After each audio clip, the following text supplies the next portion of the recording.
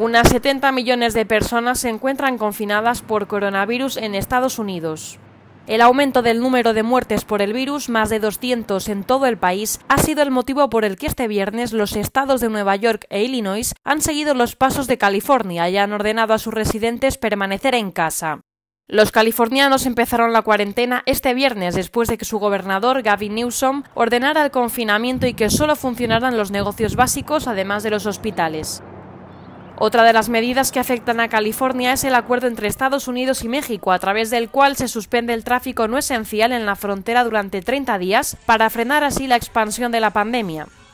En la costa este, Nueva York también ha cerrado todos los servicios no esenciales y pidió a su población que se recluya en casa para evitar contagios.